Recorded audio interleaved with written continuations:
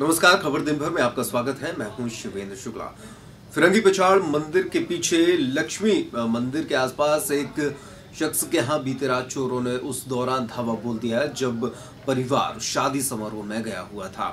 बीती रात की यह घटना है। दूसरे दिन, यानी कि रविवार को रिपोर्ट लिखी गई, जिसमें लगभग एक से डेढ़ लाख रुपए की चोरी की खबर लिखाई गई है।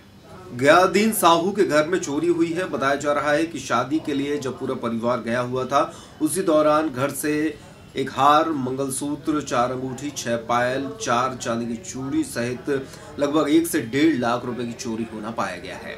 सिटी कोतवाली पुलिस ने मामला दर्ज कर लिया है। ये गयादीन साहू है मंदिर के पीछे मोवा रोड पे मकान है उसका। वहाँ उसकी रात में ये दिन में कल गए गए हुए थे, ताला लगा के उसी दौरान दिन में ताला तोड़ के चोरी हो गई जिसमें मंगलसूत्र हार और अंगूठी चांदी के चूड़ी ये। लगभग कितने की होगी चोरी? लगभग हो गई एक लाख डेढ़ लाख की। मैं भी स्वयं भी गया था रात में साढ़े बारह बजे उसके पास घर में तलाश करी अब चूँकि सुनसान एरिया मकान है उसका कोई वहाँ रहता नहीं है ना आमने ना सामने ना है तो किसी ने ये ताला तोड़ के चोरी करी है। ओरछा रोड थाने के अंतर्गत आने वाले ग्राम धौरी में चार माह पहले हुई एक विवाहित युवती लापता हुई है, तब से उसकी कोई जानकारी नहीं है। परिजन परेशान है, पुलिस अधीक्षक को भी इस संबंध में ज्ञापन सौंपा है, सिविल लाइन थाना पुलिस में भी रिपोर्ट लिखी गई, लेकिन चार माह गुजर जाने के बाद भी अभी तक युवती का कोई भी अता पता नहीं है।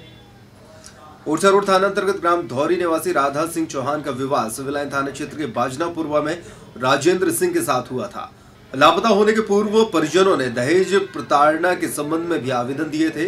पुत्री के परिजनों ने मीडिया के सामने गुहार लगाई कि पुत्री को ढूँढने के लिए पुलिस को प्रयास करना चाहिए।